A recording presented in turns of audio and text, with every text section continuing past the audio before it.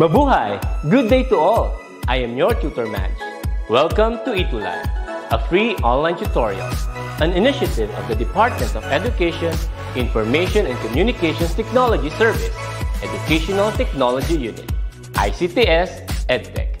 This program is aimed at helping and assisting learners from kindergarten, senior high school, ALS, Alive and SPED learners. Aside from answering the modules, the Itulay is offering programs which you will surely look forward to. Together with our parents and teachers, the Itulay will bridge the gap where difficulty and ease meet in learning new knowledge and skills. So, let us prepare our module, pen and paper. Ready your mind to see and hear worthwhile and interesting lessons. Let us now study and learn together with our volunteer online tutors. Tara na!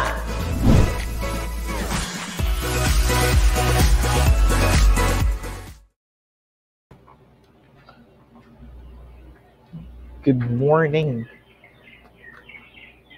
Good day, young entrepreneur. Welcome to an interesting Itulay online tutorial platform will enhance your skills, knowledge, and competencies to become a successful entrepreneur. I am Tutor Mel from Coron School of Fisheries, SDO Palawan, to guide you in learning to the subject of entrepreneurship. Hello! Yan, good morning sa inyong lahat muli. At tayo po ngayon ay nasa second quarter na ng ating online tutorial platform for this day. Ayan. So, entrepreneurship quarter 2, week 1 with the topic of 4 M's of production and business models. Good morning po sa lahat ng ating manonood or mga online tutors mula sa iba't ibang panig ng bansa. Present daw po si Mika Rigaspi, present shoutout daw kay Princess Pauline Savalo. Good morning po sa inyong lahat. Ayan, ayan. Siyempre, sabi nga natin, kung kino-congratulate ko muna kayong lahat dahil na ipasa ninyo at naitulay ninyo ang inyong first quarter at tayo ngayon ay nasa ating second quarter na. Hello sir, good morning po from SDO Makayuan. Ayan, good morning kay Aisa Spirito. STEM Grade 12, Aguinaldo Quirino National High School. Good morning po sa inyong lahat na sa Quirino National High School. Good morning kay Lester Anthony Gomez Casela from Culyon, Parawan. Good morning po sa inyong lahat. Ayan. Tunay nga po, you can share our live for today para sa inyong mga kaklase, classmates na makarinig din ng ating online tutorial sa subject na entrepreneurship. Ayan, kunin nyo na ang inyong mga modules o pwede nyo i-download sa DepEd Common ang ating pong module for today. Good morning po from Pal Palanan, Isabella. Good morning kay Mary Claire ok at Okchao. Ayan, good morning sa inyong lahat. Ayan, bago tayo magsimula, let's have first identify our acti- uh, objective for today. At the end of our tutorial, you are expected to, number one, describe the four M's. Diba? Ano ba tong 4 M's na to? Which is the manpower, method, machine, and materials of operations in relation to the business opportunities. Very important to identify these 4 M's. But before that, let's first have an activity. Good morning, everyone from Division of uh, of Cebu Province. Good morning, Dina PS. Ayan. Kay May Magat. Ayan. So grade 7 daw po siya from Santo Rosario National High School. Okay, let's have first an activity. Pwede po kayong sumagot. Just comment your answer to our comment section para po ma-identify natin ang inyong mga sagot for our first activity. Okay, right through of the statement is correct. Otherwise, right false if the statement is incorrect on the space provided below. Okay, let's start. Ayan, sige nga, comment nga kayo ng heart sa ating comment section kung kayo ay ready na para sa ating first activity, sa ating first quarter, sa ating uh, second quarter, sa ating week 1, sa ating italay. Sige, comment your heart. Ayan, nag-comment na sila. Ready, ready na talaga ang ating mga online learners for this morning. Let's start with number one statement. Okay? Output represents the final products from the product from the production process and distributed to the customer. What do you think is the answer for this statement number one? yung output daw, ito na daw yung final natin na binebenta sa ating mga consumers. Is this true or false? Ayan, sige nga. Comment your answer. True or false lang tayo. Sige. Ayan, sabi ni Lester, true. Sabi ni Kesa, true. Ang kung inyong sagot ay true, kayo ay tama. Ang galing naman. Hello kay Cathy Peralta watching from Estrella Bella Luz Elementary, San Mateo South Division of Isabela. Ayan.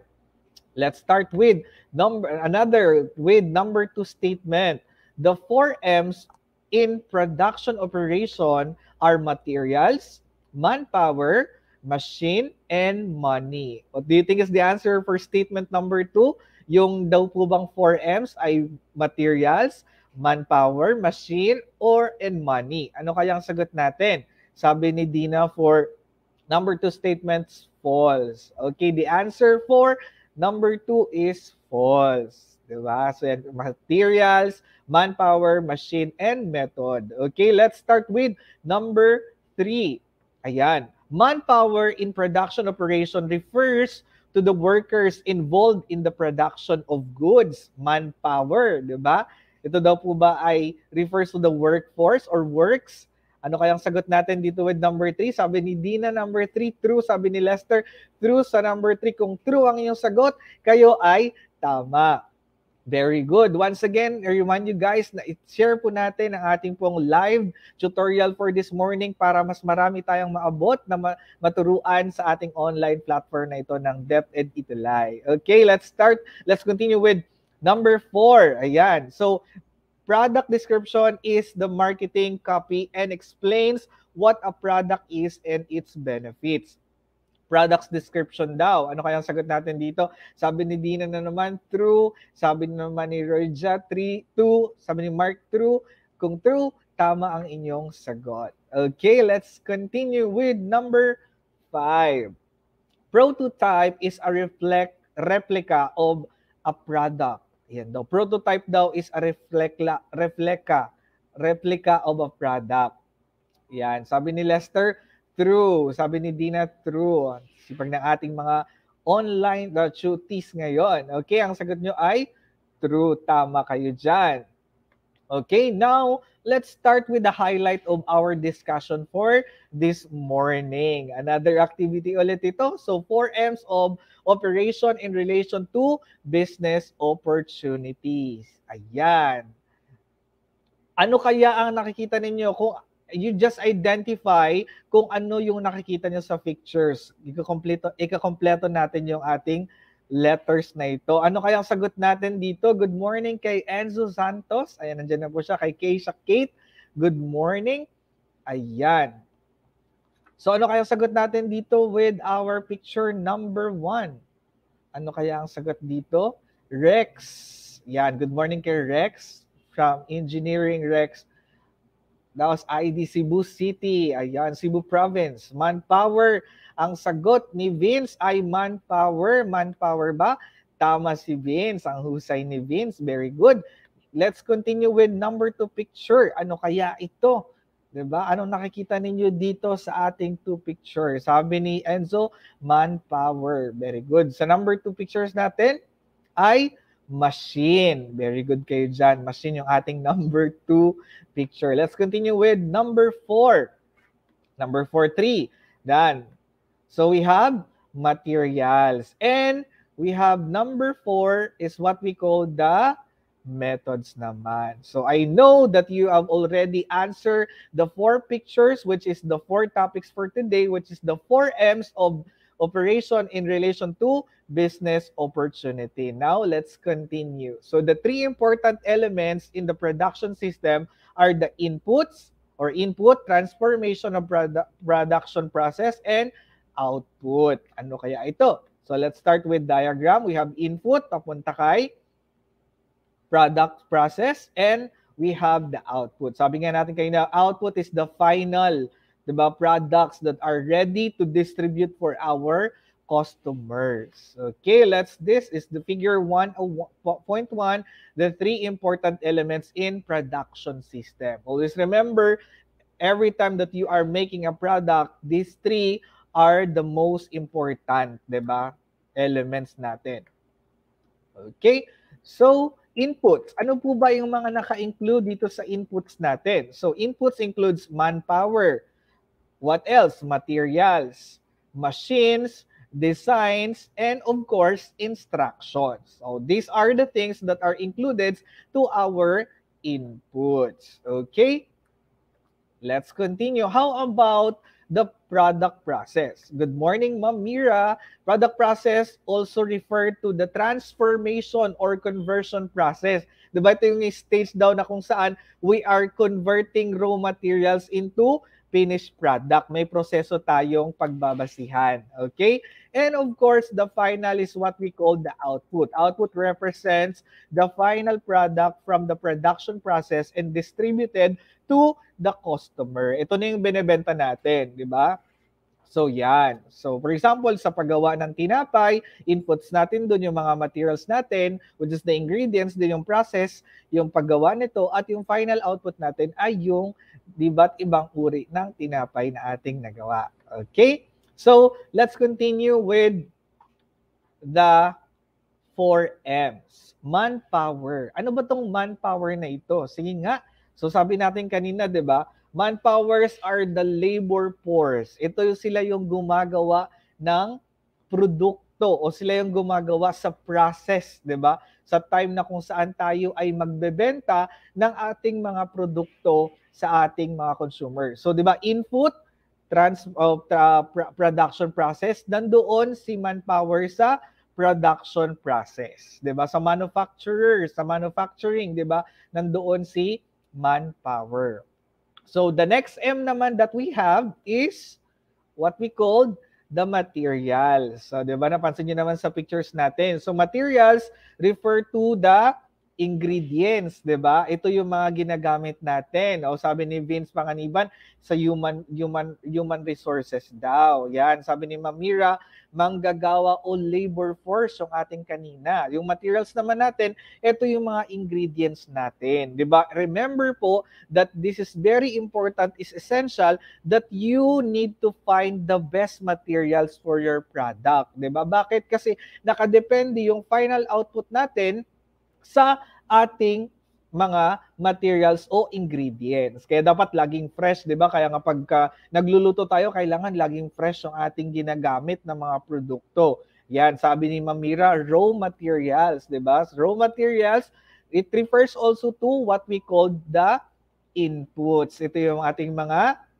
inputs na ginagamit natin. Yan. So yan, raw materials natin. Okay? So, yan. So para pagkabuo tayo, so 'di ba katulad katulad nga sabi ko kanina sa bakery, ano bang ginagawa nila is tinapay. So mga raw materials nila can be the flour, eggs, oil, and etc. So yun, kailangan laging fresh yung mga yon. Okay? And we have the next one, the third M is what we call the machine. Ano naman tong machine na sinasabi natin na to? So machine about manufacturing, equipment used in production of goods and delivery of goods. Ayan. So ina-identify natin dito sa machine natin na kung paano ba dapat i-identify natin, hindi lang tayo basta-basta bumibili ng machine. Identify first natin ano ba yung gagawin nating produkto. 'di ba? Gaano ba karami yung kayang i-produce ng machine na 'yan? Sino ba ang pwedeng gumhawak o pwedeng mag mag-manipulate ng machine na yan. So, hindi tayo basta-basta bumibili. As entrepreneur, we need to consider those factor every time that we are going to purchase a machine. ba? Diba? Kasi, syempre, mahalaga yan kasi pangmatagalan na yung mga machine na yan. Which helps you to what?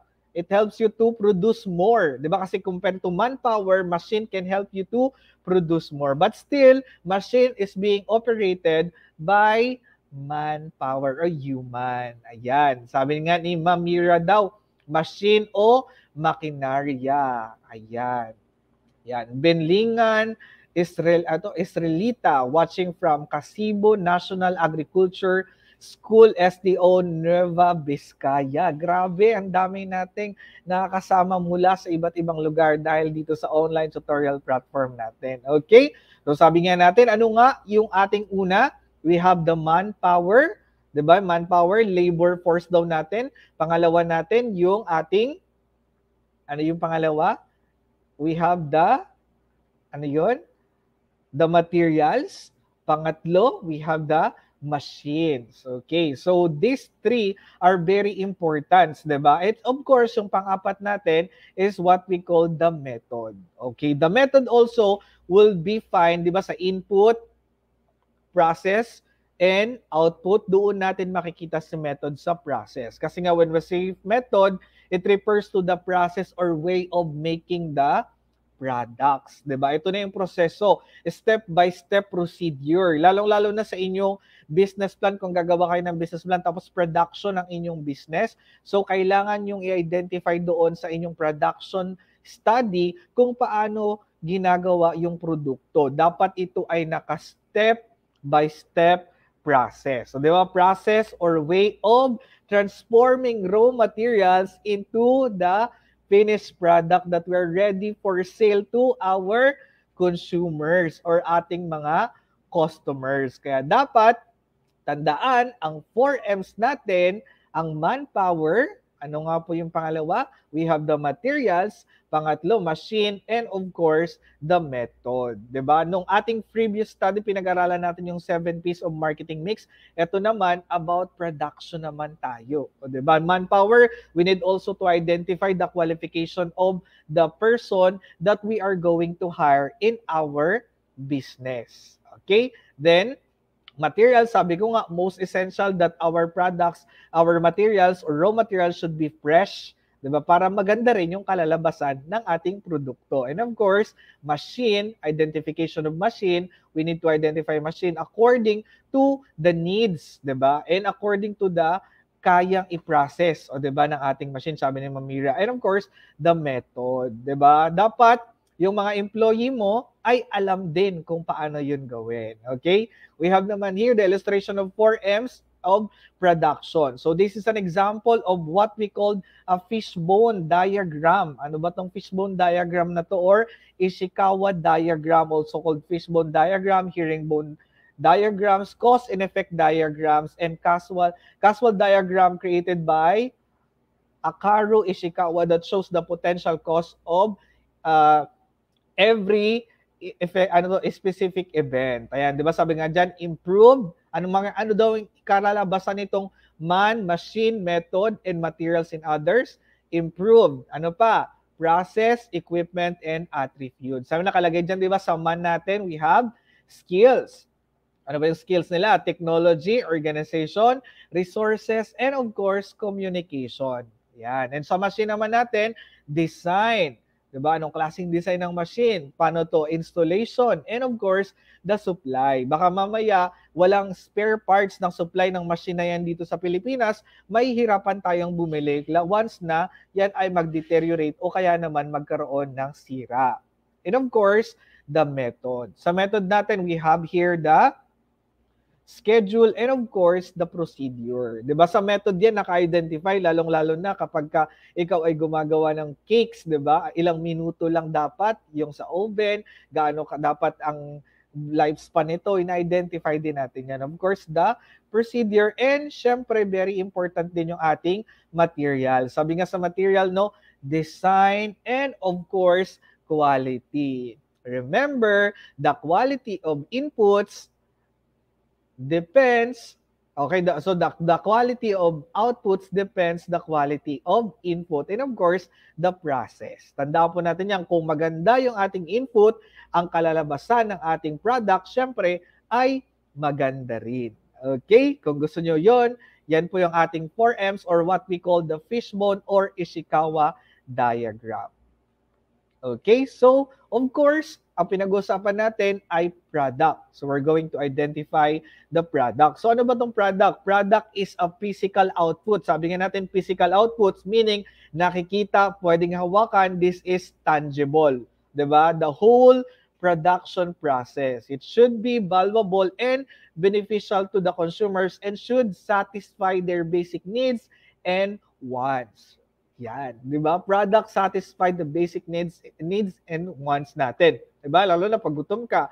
So bibili ka ng tinapay. So mabubusog ka. So you're being satisfied. So product can be heterogeneous and homogeneous. Ano ba tong heterogeneous and homogeneous? Siyempre, from the word hetero, ibig sabihin nun, di ba, magkaiba. So heterogeneous product has dissimilar characteristics parts and physical appearance. It can be easily identified from other products. Sabi nga dyan po, entrepreneurial venture that produce heterogeneous products includes maker of furnitures, bags, and home decors. Hetero, ibig sabihin magkakaiba yon, 'di ba? Maraming ganyan lalong-lalo na sa mga malls, 'di ba? Sa mga boutique, hindi pare-pareho yung product na kailang binebenta sa mga furniture shop kasi upuan, mesa, 'di ba? Higaan, kama, so iba-iba yung kanilang produkto. Yan yung mga example natin ng heterogeneous products. Tandaan po natin, when we say heterogeneous,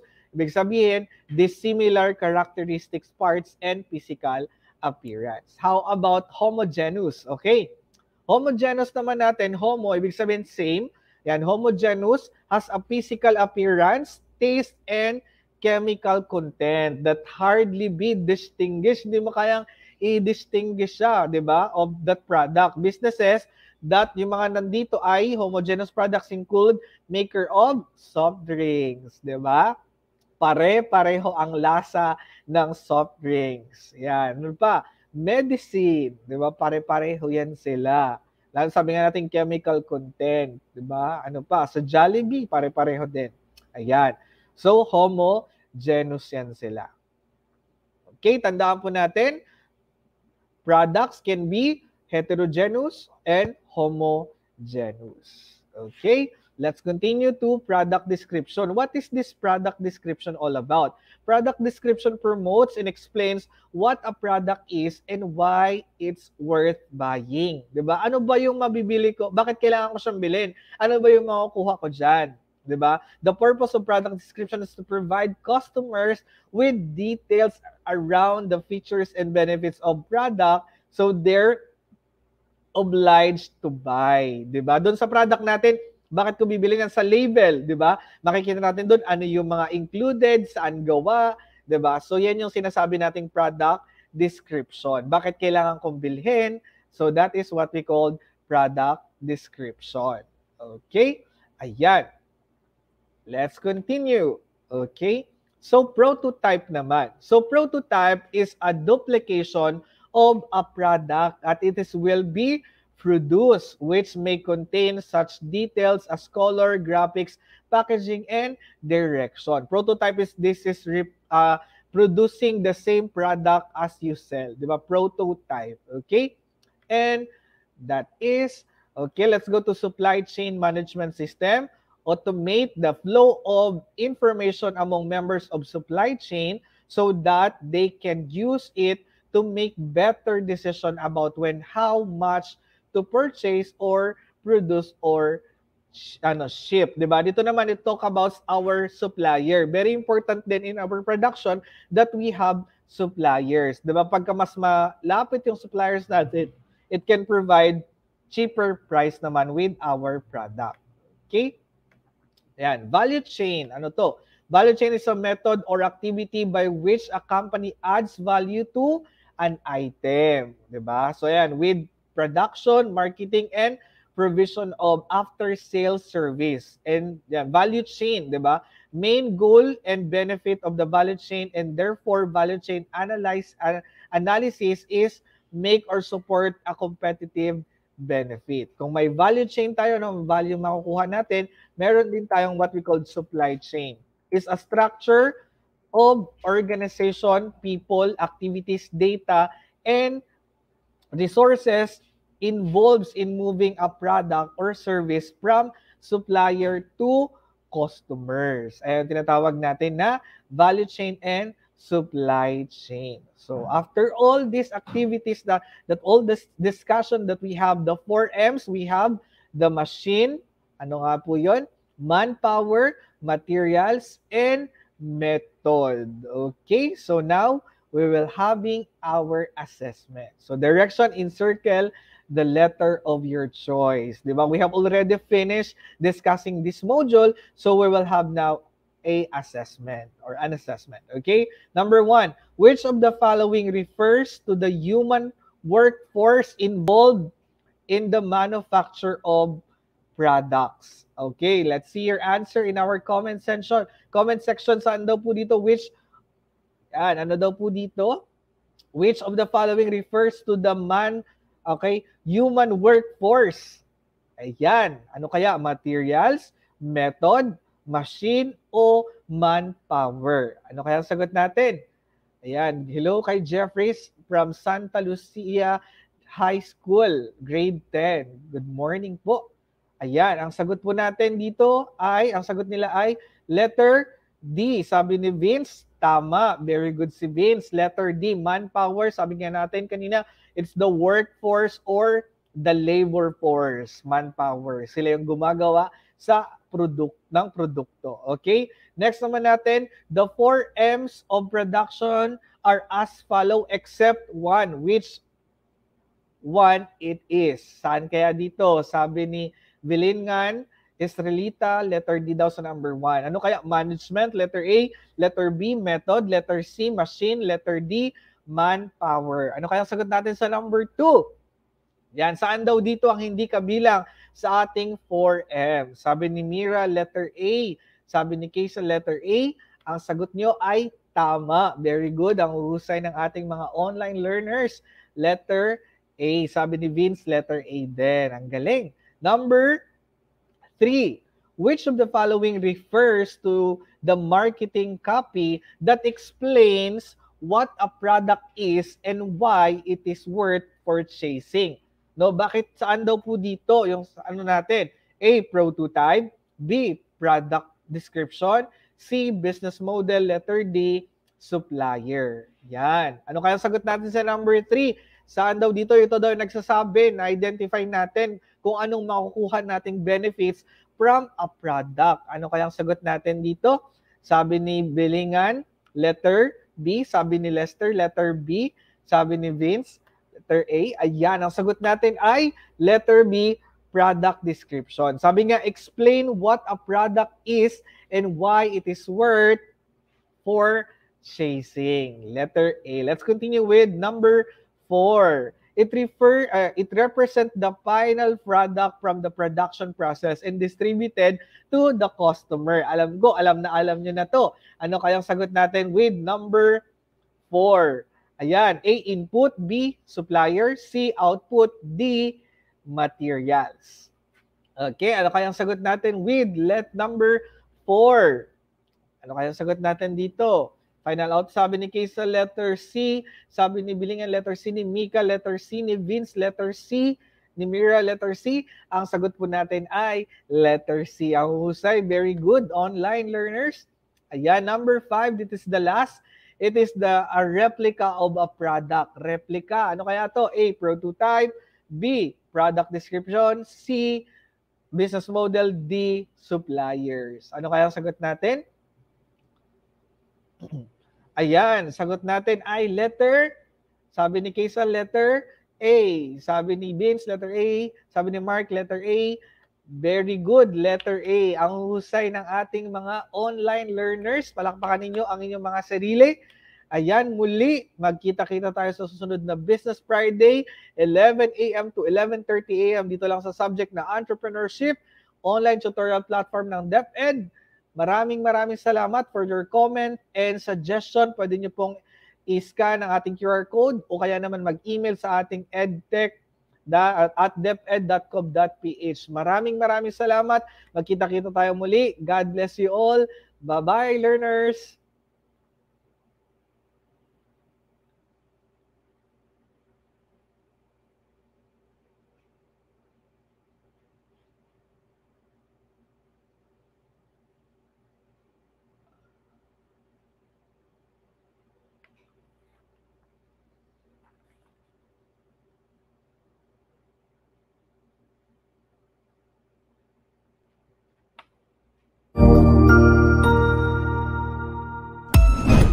Ang husay naman! Natapos mo ang iyong tutorial session kasama ang iyong mahusay na Itulay Tutor. May bago ka bang natutuhan? I-share na yan gamit ang hashtag Itulay Level Up. Huwag aalis ha dahil may susunod pang programa na pwede mo ring panoorin at salihan dahil naghihintay na ang iyong mga tutors. Happy learning dito sa Itulay!